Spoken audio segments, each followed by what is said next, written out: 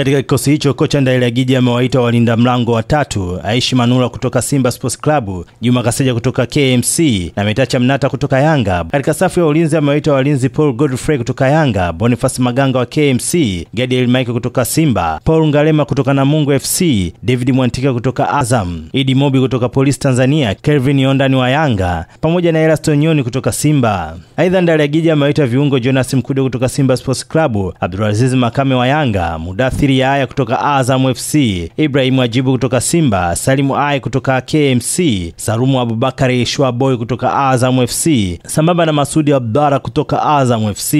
Katika safu ya ushambuliaji, Ndailegije amewaita washambuliaji John Boko Adebayo kutoka Simba, Ayubu Lianga kutoka Coastal Union, mchezaji wa Serengeti Boys Kelvin John, Faisal Salumu wa Yanga, Frank Domayo kutoka Azam FC, Hassan Dirunga kutoka Simba, Idi Nado pamoja na Shaban Chirunda wote wa Azam FC.